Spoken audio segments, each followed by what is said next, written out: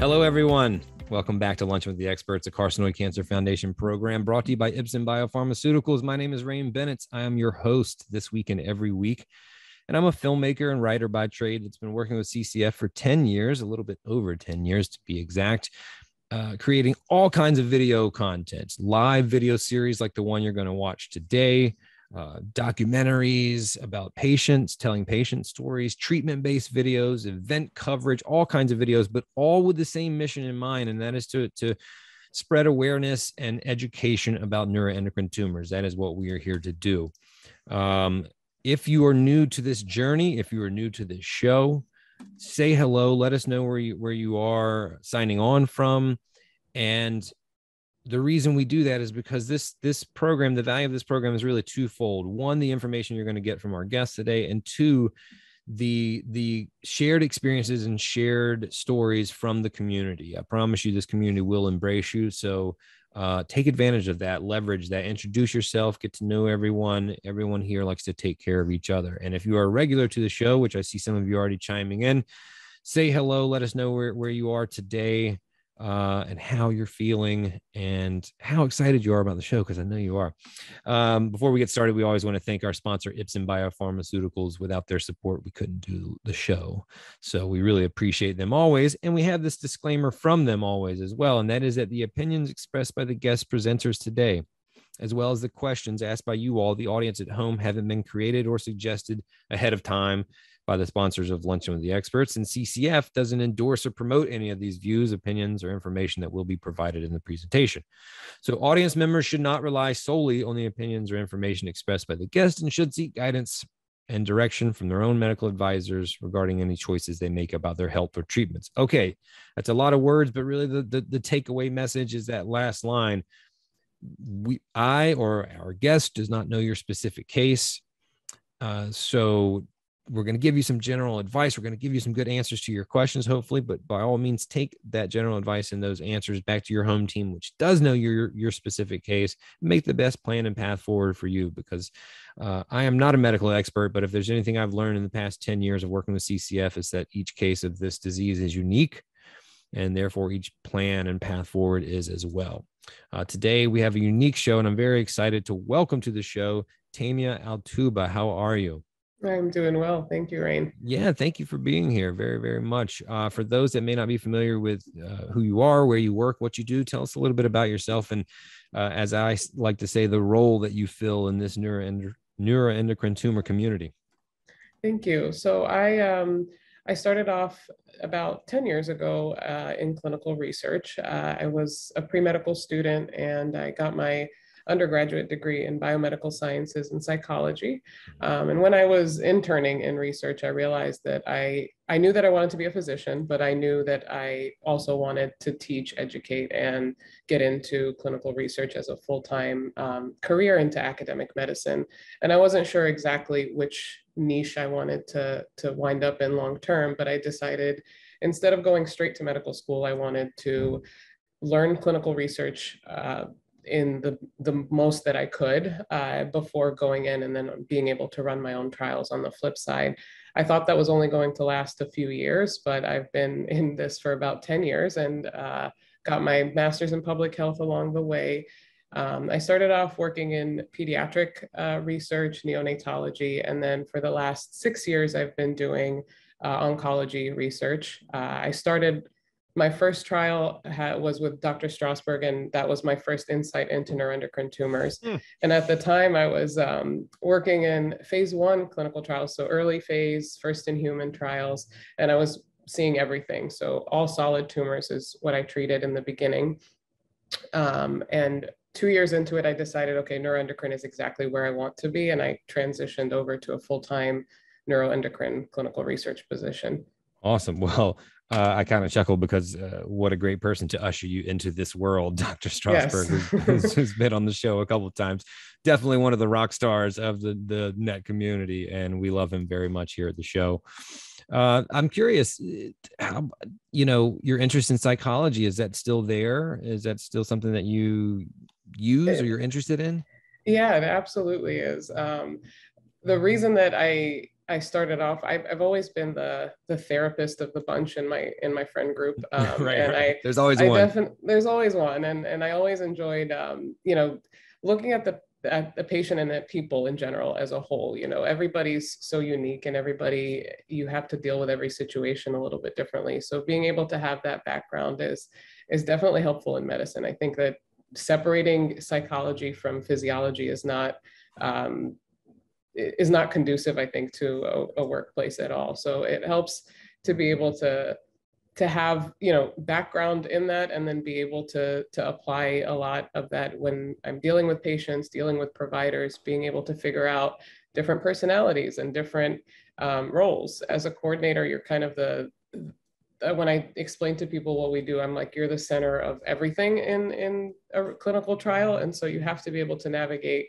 well i'm dealing with pharmaceutical companies and mm-hmm. dealing with you know um, endpoints and i have deliverables for people and i have to there's data that i have to kind of get in and there's deadlines and things like that but then i'm also dealing with the patient side and this is real life and it's dealing with a human being not just a mm. you know a number or a checkbox or anything like that so that really helps i think bridge the bridge the two well said um, so, folks, go ahead and start sending in your question. I see some of you already have. We're going to try our best to get to all of them, but we get a lot of questions every week. So, inevitably, we don't. The good problem, you know, it kind of creates a good problem. We can keep the show going every week, but I want to tell you that if you didn't get a question answered or if you have a follow-up question please reach out to ccf this is this is their job at the foundation to, to get you that information so you can reach them here on the facebook page you can send them a private message or a direct message or you can reach them at their website uh, which is featured behind me at carcinoid.org.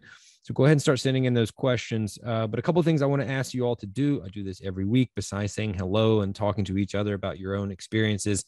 Is uh, one, if you know someone that should be here, because really this interactive session, that's the real value. The replay will, will be available for anybody who wants to rewatch it or that missed today but it's really to help people that are struggling with a question or two questions or more uh, get those questions across to a specialist. So tag them in the comments if you know somebody needs to be here to remind them the show is going on. And secondly, if you see a question in the sidebar in the comment section that you also have or you're interested in the answer to, you can like that uh, Facebook gives you a few emotions you can use, but they all work the same way for me, and that is to effectively upvote it. If I see eight people have that question as I'm going through the questions, I'll make sure to get that one across. I hope that makes sense. And it just helps me do my job a little bit better, which is, of course, to serve you. Uh, Taymeyah, I see someone who says, Bev says, Hey, Taymeyah from Melbourne. So I told you all over the world they, they tune in. um, okay, so I'm going to start churning through the questions. But first, I know that I wanted to learn a little bit more, uh, Tammy, about the. I know you have a couple of clinical trials at Moffitt going on right now. Uh, can you tell us a little bit about what what you, what you're working on currently? Yeah, we have quite a few uh, ongoing clinical trials. I'll highlight a couple that um, either recently opened or that we're really uh, ramping up accrual on. Mm-hmm. Um, one trial that's not actually a treatment trial, it's a PET dotatate trial. It's for patients uh, who have poorly differentiated neuroendocrine cancers. Okay. So the more aggressive uh, neuroendocrine tumor, it's um, you know, we know that patients with poorly differentiated neuroendocrine cancers don't typically express somatostatin receptors, mm-hmm. um, but the trial is looking at uh, scanning patients with that histology to see is it truly not seen often enough to warrant scanning them? Or is there a higher percentage of patients that do express somatostatin receptors um, with poorly differentiated cancers and therefore maybe potentially change the, um, you know, the future moving forward? Do we scan these patients just in case uh, and potentially open up a treatment option for them down the road with, uh, you know, Lutathera or something similar. Right. Um, so that's only being done at Moffitt. I need, I think we need about 15 more patients to to be able to f- close that study out. So if you know anybody who has not had a PET dotatate in the past and you think meets that criteria, um, you guys are more than welcome to to send an email over, and and we'll be happy to take a look at the the records and and go from there. We have a few other uh, trials. So the CABINET trial, that's the cabozantinib versus placebo trial. That's an alliance clinical trial. Uh, so government run protocol run all over the US right now. Um, we've put on about nationally 200 of uh, 395 total patients that we want to enroll. Uh, that's a very exciting trial. Um, Patients will be blinded initially if they're eligible for the trial. So we don't know if you're on placebo or active treatment, uh, but we'll be closely monitoring you as you're on treatment. And if if you progress on trial, we unblind. Uh, and, and if you're on placebo, you can cross over and get active drug as long as you're still you know, eligible for that. And then um, if you're on drug, then we know that it didn't work. So that's a, an interesting pivotal trial um, that will hopefully, if positive, lead to FDA approval of a new drug for the neuroendocrine tumor patients. Um, and then we have another exciting trial that just opened up. Uh, uh, it's out of AlphaMedix. It's the alpha emitter, uh, mm-hmm. PRRT. So that's that's been something I think we've all been hearing about, talking about, and it's finally uh, hit the ground running in a phase two clinical trial. So we have that open at Moffitt. Um, and one other trial that's opening up, that did open up recently at Moffitt and opened at many other sites across the world is the COMPOSE clinical trial. That's comparing uh, PRRT with lutetium DOTA Hmm. versus mm. standard of care treatment that your physician can choose. So they can pick between everolimus or Afinitor, um, and Temodar, or FOLFOX. So different, whatever is most appropriate in your case, your doctor would choose as the comparator. And patients are randomized uh, one-to-one on that trial. So uh, you would either be randomized to the PRRT or to the standard of care treatment that your doctor chose. Um, and that's for patients with grade uh, two or three, so Ki67 between 15 and 55%. Awesome. Well, thank you for all that, folks. We already laid some great foundation about trials uh, coming up. If you just joined us or joined us a little bit late, we are here with Taymeyah Al-Toubah from Moffitt talking about trials and uh, research that she is working on. Uh, questions are already rolling in, so I'm going to go ahead and start taking sure. some. Uh, Rebecca says, Hi from Liberty. It's been a while since I've uh, been able to join. So excited to be back. We're excited to have you, Rebecca. And she says, and also I want to give everybody else um, a little shout out for doing exactly what I asked. Several other people have this question, and I can see that because you all liked it. Thank you very much. Rebecca says, What is your knowledge or opinion on the clinical trial of the pill form of, of uh, Sandostatin? So we're we don't have that um, open. And I know there's several trials that I've seen come my way with that. Um, opinion, I would leave to your physician to give an opinion on your specific case uh, with whether that would be appropriate or not.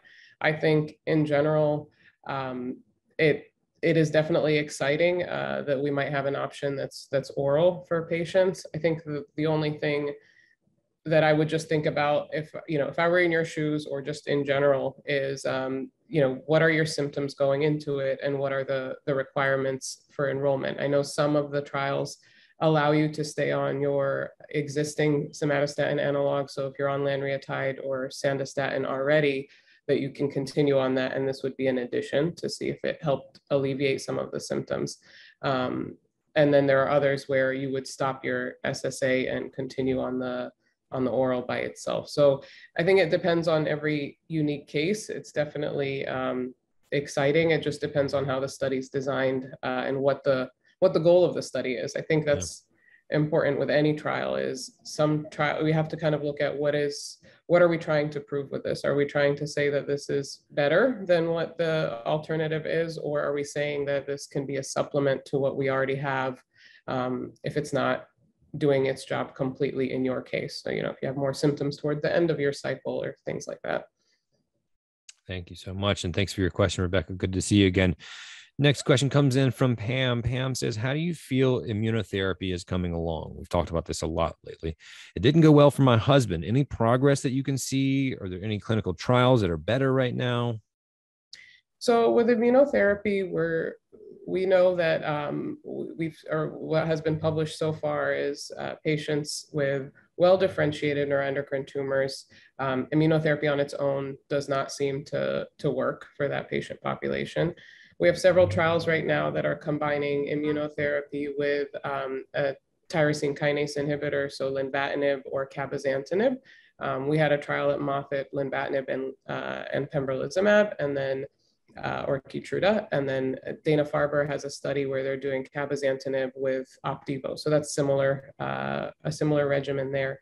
Um, there. Neither study is published yet, uh, but the, the idea is that combining immunotherapy with another agent that we know works a little bit better in this population may help get the immunotherapy to work.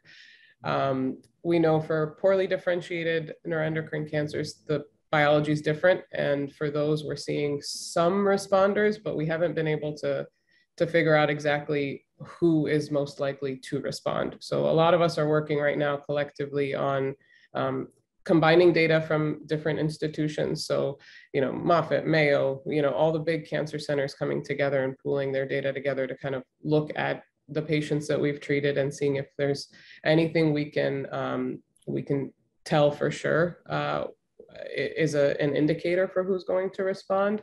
I think I think immunotherapy has a huge role in cancer in general, right? Not just neuroendocrine cancer. Right. Um, but it's going to take a, a lot more time to to figure out exactly who is most appropriate uh, for this. I think if there's a clinical trial available to you that you're eligible for, um, it, it's definitely something that if your doctor's offering to you is something to, to consider because the more the more we know, the more we'll be able to advance the field in that in that avenue. And through a clinical trial is always um, we get more clean data, if you will, uh, on on what that really looks like versus when uh, you know if we write we can prescribe these medications off trials uh, sometimes if that's appropriate, uh, but that that doesn't give us uh, super clean data moving forward. Right. Well, thanks for your question. We're going to keep moving forward. This this is a treatment based question, so I'm I'm going to ask it. We'll talk about it a little bit and see what you think. Um, the question is from Jennifer Why do they not usually offer as much treatment for lung nets? I'm not sure if she means as many options, but any thoughts on that or any research going on specifically for lung nets? So the cabozantinib trial, the CABINET trial, and then the AlphaMedix trial both are uh, for all neuroendocrine tumors that are well differentiated. So the biology is different between lung neuroendocrine tumors and gastroenteropancreatic neuroendocrine tumors. And so it's, I think a lot of the trials, um, particularly like the Lutathera trials um, that initially, you know, the NETTER-1 trial, um, those were focused on that patient population. But uh, there, I think that's changing. I think a lot of the clinical trials that are open now, you you'd be surprised how many include lung nets or unknown primaries. Um, it's it's just different when you look back at the data. A lot of times you can't apply what applies to the GI nets to the lung nets. And so that's right. where having trials that are more inclusive of that patient population, that, that that's changing now. They're even doing PRRT in um, lung nets that express somatostatin receptors. But we have to think about um, the fact that lung neuroendocrine tumors don't always light up the same way that GI nets do on the PET scans. So treatments that would be easily effective in theory for patients like that uh, wouldn't necessarily be the same for lung nets. So you wouldn't want to treat a patient who all their tumors didn't light up with a treatment, for example, that that is targeted towards that. So um, the targeted therapies and and the newer um, trials are, are definitely including lung neuroendocrine tumors where appropriate. Got it. Thanks. Well, that's good to hear. Uh, and thanks for your question. Uh, next from Rebecca. Uh, what's coming down the pipeline for grade one Mets uh, stage four? I, all these trials. So everything includes uh, that I've mentioned, at least the, the AlphaMedix trial, the CABINET trial. Um, those include grade one neuroendocrine tumors that have metastasized. But what you we have to think about too with clinical trials is if you still have options that are standard of care options mm-hmm. that limits the likelihood that you would be eligible for a trial so the less aggressive um, neuroendocrine tumors we have lots of options for already uh, so for example pancreatic neuroendocrine tumors you have Afinitor, you have Sutent, you have PRRT, um, you have a CAPTEM. We have a lot of options already at our disposal that a doctor may want to explore first before going to a clinical trial. So it may not be that they're not available. It may just be that not appropriate um, at the time that, that you were interested in a trial, for example. Um, phase one clinical trial, so that's uh, disease agnostic trials, if you will. Uh. Those are usually open to anybody with any solid tumor, if that's the, the way that it's written. Um, that's what I did for a while. The, the hard part about neuroendocrine uh, about phase one trials is that there's limited slots. So a lot of these studies are either first in human or first time we're using a drug in a new uh, cancer. And so it's a very careful, carefully thought out trial and patients, we're not just enrolling 100 patients right away. You're enrolling patient, patients in batches um, to make sure that it's safe, uh, that patients are not exhibiting any significant toxicities or side effects that would warrant uh, changing course uh, or maybe not developing the drug further, things like that. Um, I know clinicaltrials.gov can be very overwhelming. Um, so it might seem sometimes like there are not options. Um, but I would I would say you know uh, i like to be this for my patients and i hope that you can you know you're welcome to if you if you're a moffitt patient or you're interested in becoming a moffitt patient i'm you know i'm happy to help coordinate that for you. But uh, your physicians too and anybody at your institution if you ask people are more than willing to help you navigate that you know clinicaltrials.gov and and and try to help you find something that's that's appropriate for you. Got it. Thanks um, hey, do you mind if we go back a little bit? And we've talked about phase one uh, quite yeah. a bit, and, and just lay a little bit of like groundwork or foundation for someone who just completely is not sure about you know the whole process. And just could you break down kind of the different phases and, and like what a clinical trial, like the, the whole process? I mean, Absolutely. I know that's a big a big question, yeah. but yeah, all right, no, cool. That's, that's great. So, uh, so clinical trial in general. Uh, if we just want to briefly define that, it's going to be a drug uh, that we're using in an indication where it's not approved typically, yep. or that we're looking to lead. We know that a drug maybe works or was shown to work in a small population of patients, but we need more data to prove that it works more effectively than the alternative that's on the market right now or then nothing if we don't have anything as an alternative. So drugs go through different phases. Um, preclinical phases would be pre-phase one. So that's when you're developing a drug and you're in the lab and trying to figure all of that out. Phase one trials uh, can be one of two things. So they can be first time that we're using a drug in human beings. So it's just been in the lab, it's just been in mice before, um, animals, what have you, and now we're using it in human trials. Uh, and those trials are usually what you'll hear words like dose escalation or dose expansion. A dose escalation portion of a trial will be when we're trying to find what is the maximum tolerated dose that we can give to patients that does not cause side effects that are be, that are beyond what we think is acceptable. Mm-hmm. And th- that is different for each type of drug. So, you know, chemotherapy has different thresholds than targeted therapy, than immunotherapy, things like that. So, every protocol is specific, but usually what happens with those, a standard study would be, uh, let's say we start at you know, one milligram. I'm just giving random numbers here. Um, we enroll three patients in that first uh, cohort or dose level, if you will. And if none of those three patients have the side effects that we consider unacceptable, we move on to the next dose level. And we keep doing that until we hit either the maximum dose that we had expected to hit, or that we hit a dose level where patients start having side effects that are teetering on that edge. Um, in which case, what we usually do is we pause, we first address the patients that are on treatment, and then we expand that cohort itself. So we might add three more patients or two more patients, depending on how the, the protocol was written, and see, was this just a one-off? Was it just one patient that had this side effect? Um, or did more patients in that dose level have that same side effect that pushed them over the edge?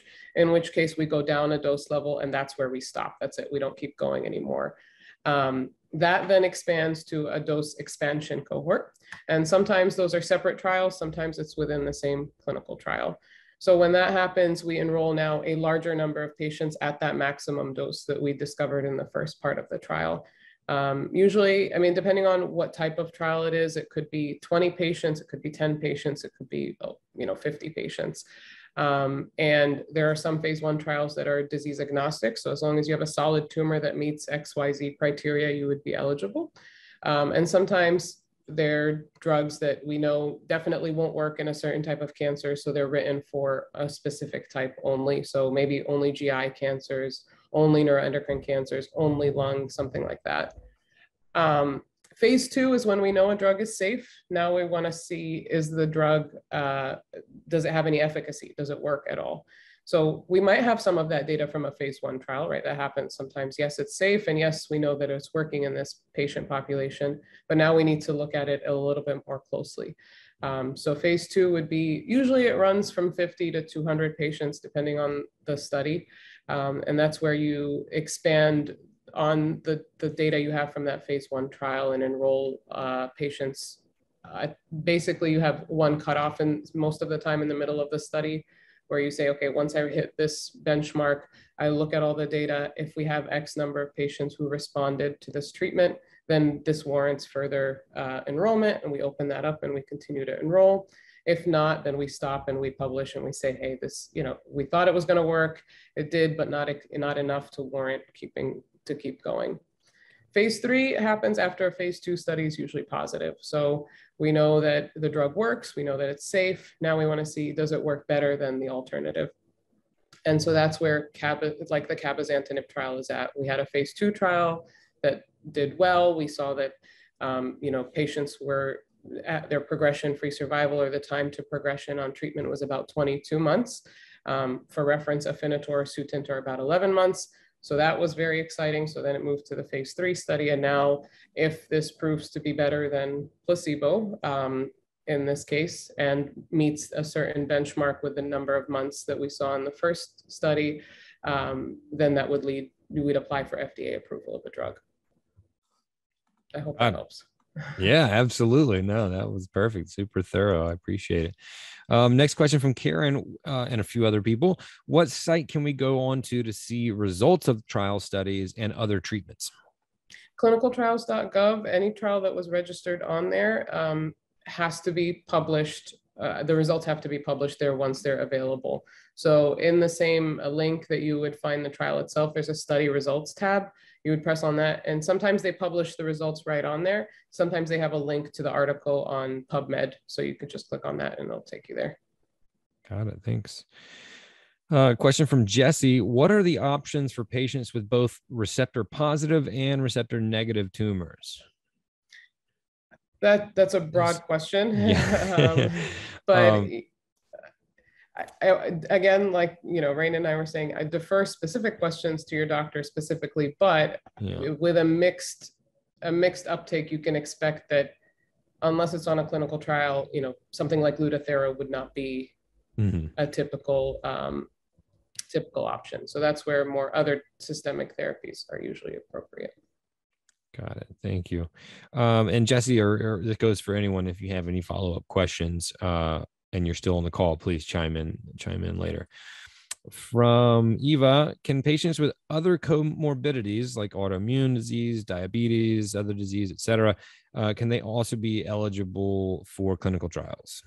Absolutely. I think um, uh, this the, I, am glad you brought that question up because mm-hmm. it, it brings me to eligibility in general. And i think there's a lot of confusion on that. There's a lot of frustration on the patient's part with eligibility which i can completely understand. Um, it depends on the treatment right? So if you have an autoimmune history and the trial is an immunotherapy drug then no that would be in most cases an exclusion. And the reason for something like that would be well, in this case, if you have this history, giving you this drug is going to cause more harm than good. So mm-hmm. it will, you know, reactivate potentially whatever autoimmune disease you have or cause something that you have to worsen. And then, and then you're battling, you know, we might be treating the cancer, but we're also causing a whole lot more damage in everything else going on with you. So that, that would be, um, a situation where exclusion, we would not be eligible for a trial. So exclusion criteria is designed to keep you, the patient, safe. Um, I mm-hmm. know it can seem like, you know, I'm being excluded from a trial, um, but I, the way I, I like to, to talk about that with patients is it, it's not excluding you from the trial because we don't think you're good for the trial. It's that we don't think this trial is going to do good for you in in the way that you're presenting. So, you know, labs, for example, some of these trials have very strict labs uh, that you have to meet to be eligible. And again, that's a safety mechanism that's put in place to make sure we don't give you a drug that's going to then make things that much worse for you and cause other issues that we now have to focus on, and then your cancer ends up falling to the wayside because we can't address things like that. Same thing with cardiac history, things like that. Got it. Hey, thanks for your question, Eva. Um, let's see. From Gina, any new tests available to find a suspected primary net after lymph nodes removals of, of metastasized net cancer lung area? Um, I'm not sure that's. Did you catch that? Yeah, I mean, I think I think what I'm getting is that you're asking if there's like a blood test or yeah, a, a screening test or something like that. Yeah. Um, nothing that is currently in practice right now. Okay. Uh, and Gina, again, this applies to anyone. Uh, if if I misunderstand a question or anything like that, and you're still in the call, please please chime back in and, and give me some uh, some clarity.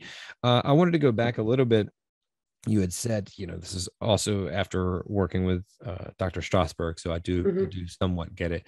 Um, but you said, like, you know, after that point, you knew that eh, Nets was was you know what you wanted to work on or work in specifically.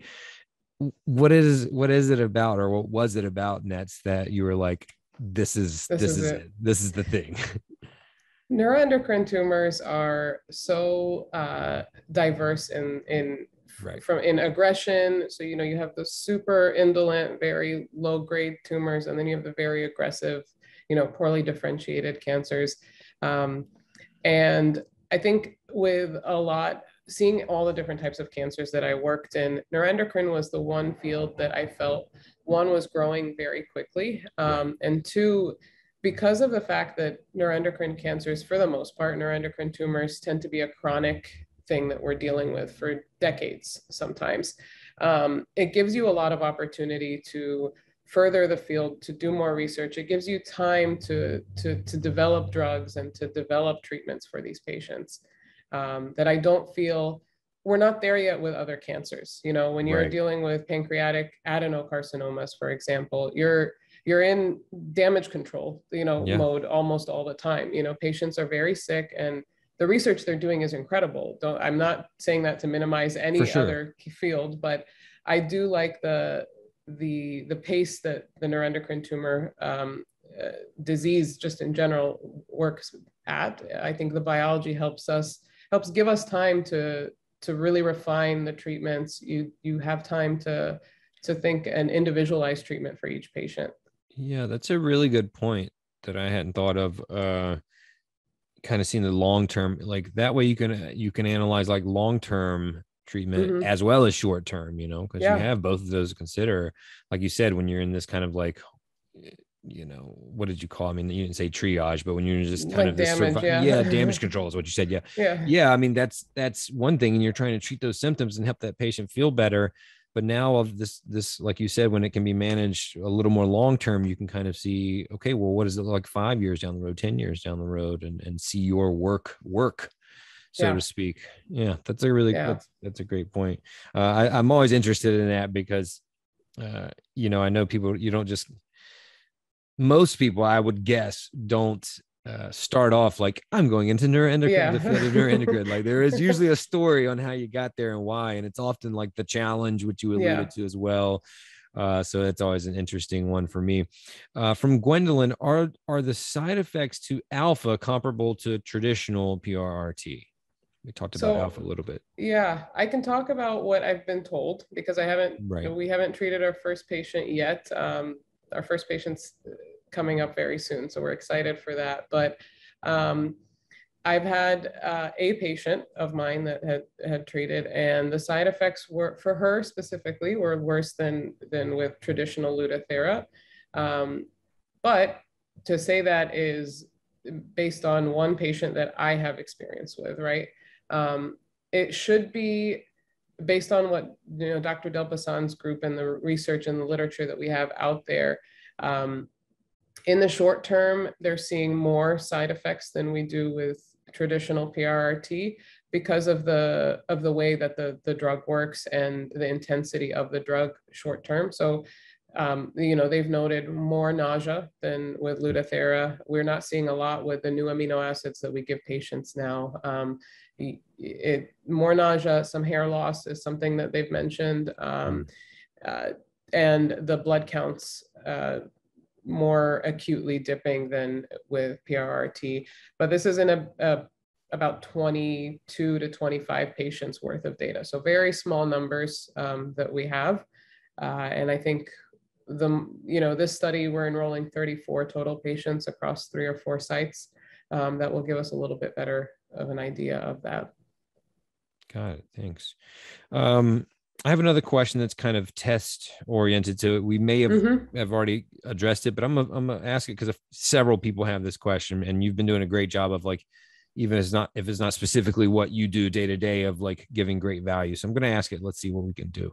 Nancy says chromogranin A appears to be a poor screening lab test for NETs. It was unchanged for me for years while I was developing multiple liver liver metastases. Is there any newer, more accurate blood marker on the horizon? I mean, right now, um, you know, we're looking. We we've done research with the NET test. That's something that we're continuing to to work on. Um, if you have a functional neuroendocrine tumor, we have other options for tumor markers. So, you know, if you have a functional tumor that, um, it, you know, serotonin producing, so the urine 5-HIAA is usually a better marker than chromogranin. If you have a gastrinoma, the gastrin level is usually a better marker than chromogranin. Um, uh, VIPoma, which is rare but happens, you know, we have different levels. Um, insulinomas, checking your proinsulin level, things like that. So if you have a functional tumor, we know those there are easier ways of tracking um, at least tumor pr hormone production, which tends to correlate with progression. Um, in trials, the NET test is something, like I said, that they're, we're exploring. We've done trials on it. Other institutions are. Um, it, it, it's not we're not yet at the point where it's incorporated into all practices but mm-hmm. that's mm-hmm. it's heading in that um, direction for some people mm-hmm. um, and you know we're working on right now a predictive biomarker for patients who will respond to prrt so in conjunction with the net test dr Bodei's group has developed the ppq um, so that's a, another study we have that we're doing with sloan kettering moffitt and sloan kettering are doing this right now um, and we're enrolling patients that are starting Lutathera and collecting blood at each of the treatments and then for the scans that you do afterwards um, to see if we can identify who will respond to PRRT before we even give it. So I think mm-hmm. it, it we're, we're getting there, we're trying. Um, we're looking at more than just um, more than just scans. We're trying to expand that, but it's a, it's a slow growth in that. Got you. Um, you had mentioned insulin insulinomas, uh, and Jan, Jean, Jan, um, had a question. Do functional insulinomas ever become non-functional? I I haven't seen eh, functional insulinomas going non-functional, but I have seen the reverse. So non-functional tumor then becoming functional. Mm-hmm. Um, I I haven't seen that many of them in general, but I'm sure that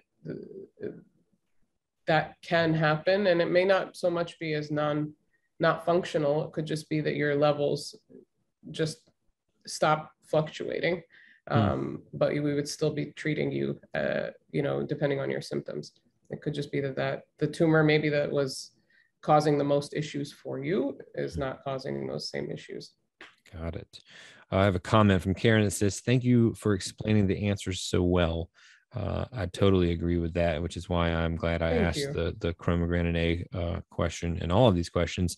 But speaking of that uh, previous response to the chromogranin A question, you mentioned net test. Uh, can can you lay a little bit of foundation for that? Like, what exactly is the net test? I get questions about all the week. I know people uh, all every week. I mean, and I know people are interested in like, what exactly is that? Is that? What are your thoughts on it? I know it's still kind of you know the new kid on the block in a, in a sense. Yeah, I mean, the NET test is a bio, blood biomarker um, designed to uh, predict, it, it's used in different functions. So um, in some cases, they've looked at whether it um, can predict recurrence in patients that have had resected disease. Um, and in others, it's to see whether patients are progressing or not in a, in a blood biomarker. And it's a more, uh, it's looking at several different um, markers of cancer in general mm-hmm. um, that when combined give us a score and that score is then a, an indicator for whether you're, um, you know, on the higher spectrum or lower spectrum of progression or aggression or, or what have you.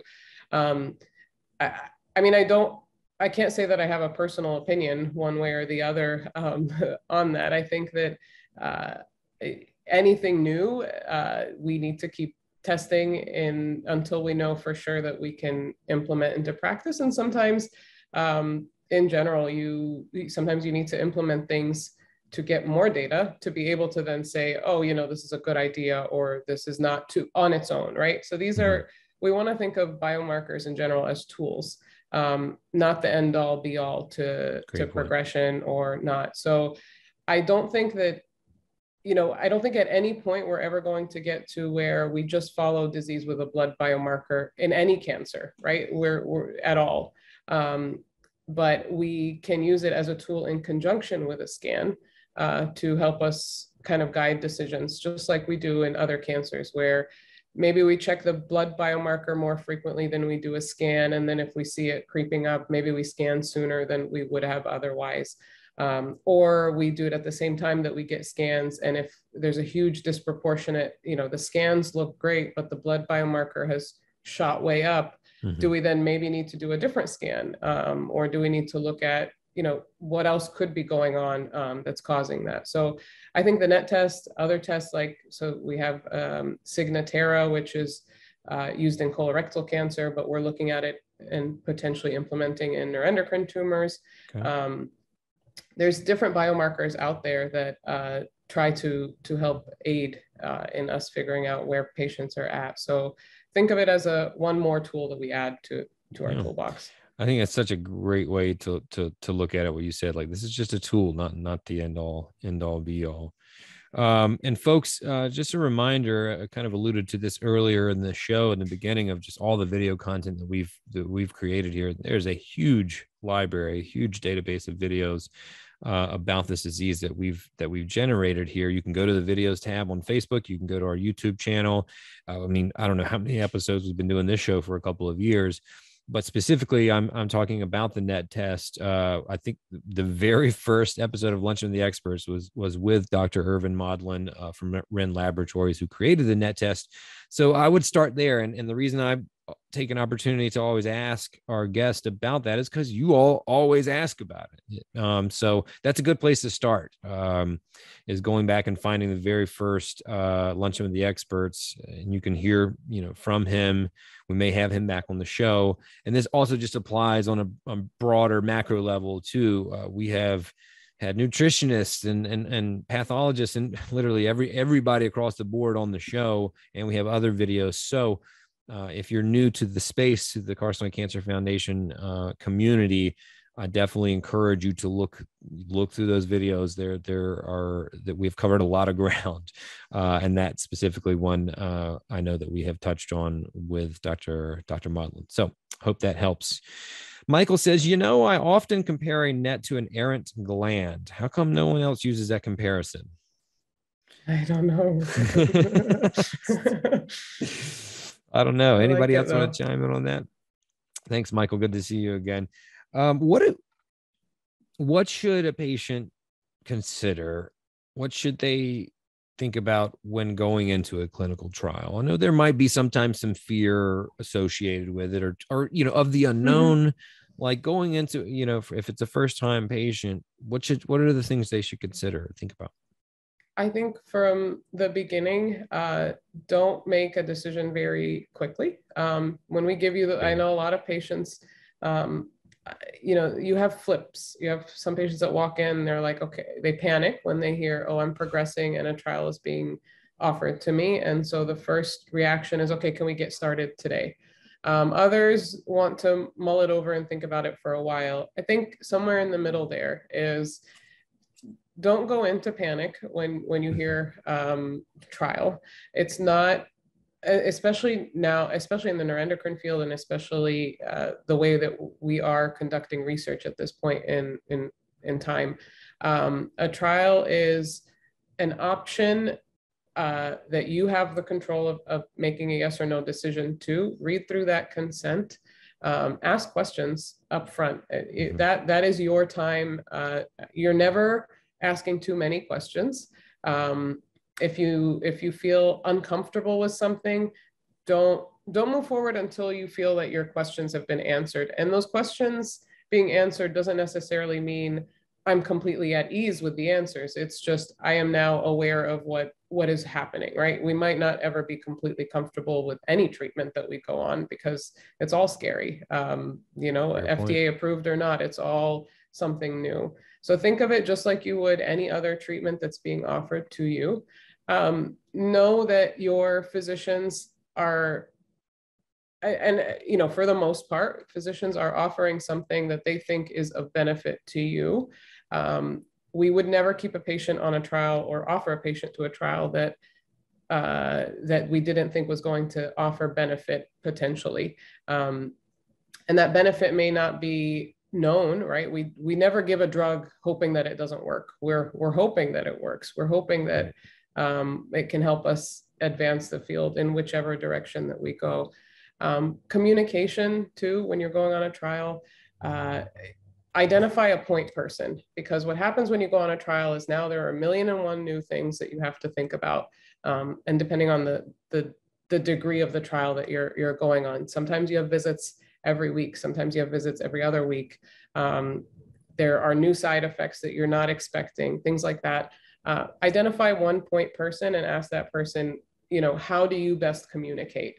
Um, i think that's important is figuring out, you know, if, if you're my patient and I'm your coordinator, I tell you email's the best way to communicate with me because I'm constantly checking my email. So that's me telling you, this is how I'm available to you um, to help you get the answers that you need. So identify what that method of communication is mm-hmm. uh, because you can go into something like this and then be calling somebody and then not getting an answer, thinking that person is ignoring you, for example. Um, and that may not be the case. It may just be a communication issue. This is, you know, this is not the primary mode of communication, or I'm not at my desk on these days, things like that. So I think the logistic things, um, if you iron out the logistic parts of being on a trial up front, that can, I've seen significantly ease uh, anxiety while on treatment um, and just make things a lot easier for you as a patient to handle. You know, I've walked into I've taken over patients from others and you, you, can, you know, patients are frustrated and things like that. You have a conversation with the patient and okay, I ask you, what, how do you communicate? And you ask me the same thing. And most of the time, 90% of the issues are gone in that, in just that, that conversation. So um, just commun- on your part, that's really all you as a patient can do is show up, answer the questions and ask the questions that you need and communicate with your with your team on our end just know that those extra visits those extra labs those extra us calling you and bugging you is us trying to check in on you and making sure that um, everything is going the way that it should be for you sometimes side effects on trials that might seem minor to you are actually more significant than you think um, because maybe you've had this side effect with a different treatment but we shouldn't be seeing it with this that often, for example. And so um, we're not trying to panic you. We're just trying to, to keep a close eye out um, on you. So there's a lot, I think that's a comforting thing mm-hmm. is on a trial, you're going to be a lot more closely monitored than you would be otherwise. So that's a great point too. And folks at home, I can confirm about the emails. Uh, she is very fast in responding, and that is appreciated. Um, you mentioned at the beginning of the um like when you're in, during your intro the beginning of the program you said that you were kind of the center of everything in the clinical trial. Can we go back and expand that a little bit? Like because i think that's such a good point and there are a lot of moving parts and pieces yes. right? Like what are those moving parts and pieces? It reminds me of we talk a lot about multidisciplinary teams here and the importance mm-hmm. of that. It kind of reminds me of the same thing. There's a lot of different players in that in that in that game so to speak.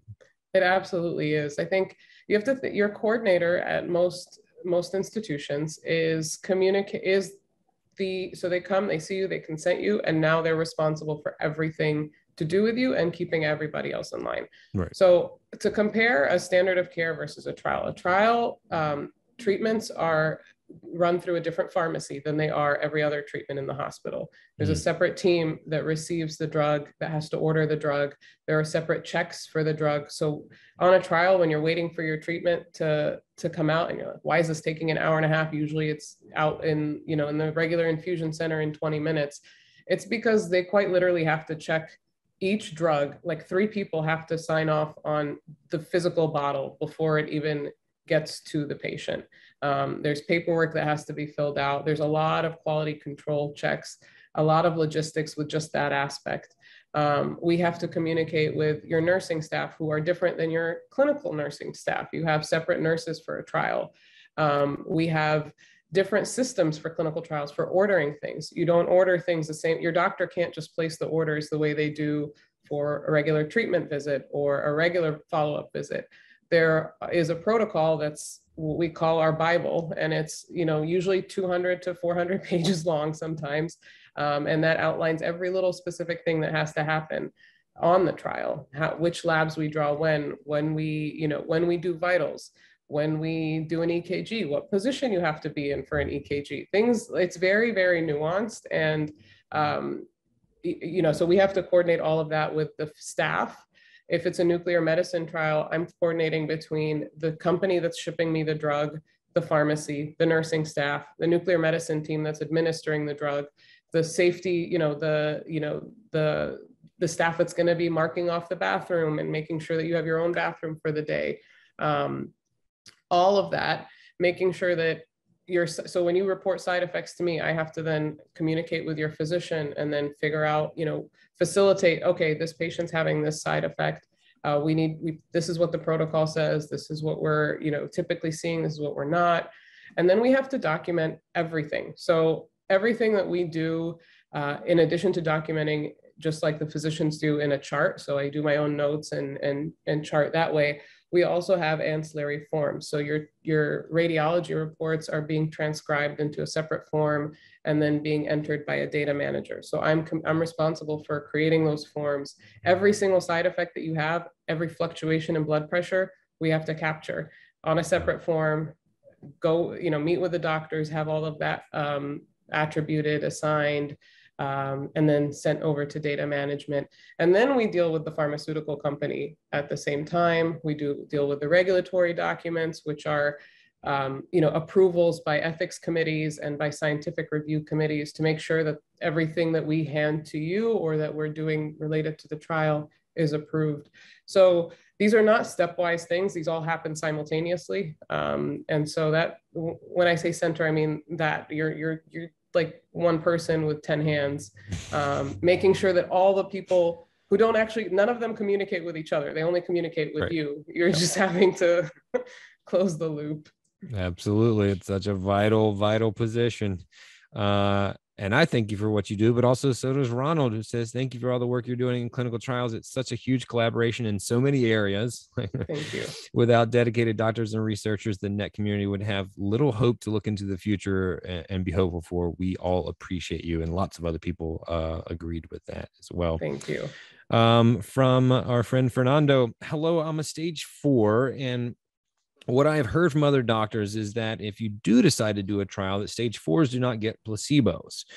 That's what I would be. Uh, that's what I would be afraid of. Uh, the placebo is that how that works? Depending on depending on the stage, is that how that works? Uh, I'd be afraid that my tumors would progress if stage doesn't matter, uh, and all get placebo. I might have lost yeah. a little bit in translation. I think the so placebo is a concern for um, a lot of patients. Mm-hmm. What I will say is we you will never get placebo if we don't disclose that up front. So unless we state that you're getting placebo, you're not getting placebo. Um, a placebo controlled trial is usually, I mean, it can be any stage cancer depending on what we're looking at. So stage doesn't define um, whether you can get placebo or not. The design of the trial will. So if we're looking at approval for a drug like the cabozantinib trial. That's for stage four patients um, who have progressed on a standard of care treatment uh, and now are eligible for this. That said, a lot of the placebo controlled studies um, have crossover at a certain time point and they're typically designed for patients that are not experiencing rapid progression. So if you're um, if your cancer is progressing rapidly, I, very little chance that a physician would offer a placebo-controlled trial to you. It's mainly reserved um, for patients who either we have absolutely no other option for sometimes, and then other times it's for patients who, if you were to be on placebo for three months, we would not expect significant growth um, that would, you know, would put you in danger uh, mm-hmm. of being off treatment. So the stage is not, it's the indication that, that would dictate whether it was a placebo controlled trial or not. Got it. Thank you for that. And thanks, Fernanda, for your question. Hopefully that helped. Uh, let me know if not, or if you have a follow up question. Um, there's so much, you know, we've alluded to this indirectly indirectly today there's so much activity going on right now in this mm-hmm. space. And there's been a lot that's happened in the past 10 years since i've been working on ccf but right now like looking forward to the next couple two to three to five years it's like a flurry of activity happening which is exciting. Yeah. Um i'm curious what is something that what do you need? What are you looking for that would help you do your your job better? Like what is exciting to you? Where you know where are you hoping that we drive things that could really make us take that net next set of leaps and bounds? I think um, so. A few things. I think COVID has opened the door to things like virtual visits and mm-hmm. virtual, um, uh, you know, telehealth, doing labs locally, things like that. What I need when I have a patient who we can do something like that for mm-hmm. is for consistency on both ends. Um, so if if if you can, we can do that as long as patients stay consistent in sticking to timelines and things like that. That's been the hesitation with um, with companies and with protocols in general is you know if we can make sure that things are happening still as strict as they do when we're in clinic we can make things easier for patients and mm. have things happen um, at home which i am a huge advocate for anything that i can do to make things easier on you as a patient i'm happy to do but it's a collaboration. Um, I like to think that we're all we're all on the same team, right? The patients, the providers, all of that. So um, more patient involvement uh, in in helping to communicate things like you know what is and what isn't working for you on a trial that that helps feedback helps um, and with regard just to the industry in general i think flexibility is something that that that's helpful flexibility in in the structure of these trials um, and minimizing things that are not necessary to the outcome of the trial. That's something that we try, you know, if I'm able to, I try really hard to advocate to get rid of things in protocols that don't need to happen necessarily if they don't really help us answer a question at the end of the day. Mm-hmm. Um, and then resources. Trials are expensive. Uh, they're very, very, very expensive. We love writing our own protocols and running trials out of institutions. Um, but to fund those, I mean, we you know we have donations sometimes and that's incredible. Um, other times you have pharmaceutical backing um, but increasing the funding for for clinical trials and making things more e- efficient to to yeah. operate definitely. Always right? Yeah. Yeah yeah. Uh, well we were talking about it before we started recording uh, some of the positive things that have come out of the pandemic. And this show right here that you're watching, folks, is a baby, a child of the pandemic. So one of the things that we're we're happy has hap- uh, has happened, and it looks like the people are as well. Thank you, Taymeyah, uh, for everything that you do. We appreciate, we all appreciate you. Thank you so much for an informative session. Much appreciated. The people are speaking. I totally Thank agree. Thank you so much for being here. I appreciate you spending the hour with us and giving such uh such valuable information, but also it's the way you deliver it. And someone said it earlier, and I totally agree with that. Like this can be a lot for people. It's a lot of information. It can be confusing. It can be scary. So, like being able to digest simply understood information is vital. So, I appreciate you sharing thank your you knowledge so with much. us. Absolutely, we appreciate thank you, you and and thank you to all the patients. I mean, we are nothing without you. You guys quite literally, I, I, told a patient the other day, you're the only reason that keep us going some days. Um, mm. Not because we want you to have cancer, but because mm-hmm. you you absolutely uh, you, you are an inspiration and you you really make our lives better in a way that I don't think we can communicate to you eloquently in words. I love it. It's a very tight knit community, this net community with patients and providers. So I really appreciate that. And I, am grateful to be uh, even a part of it from the side. And folks, we're grateful for you as well. As always, we hope this program helped answer some of your questions. I'll reiterate one more time. If you have follow up questions, please reach out to CCF either here on the Facebook page or at carcinoid.org. Thanks again, as always, to our presenting sponsor, Ipsen Biopharmaceuticals. Without them, this, uh, this program wouldn't be possible. And finally, my name is Rain Bennett. Thank you for watching. I have been your host, and please join us next time on Luncheon with the Experts. Stay healthy, stay safe, everyone.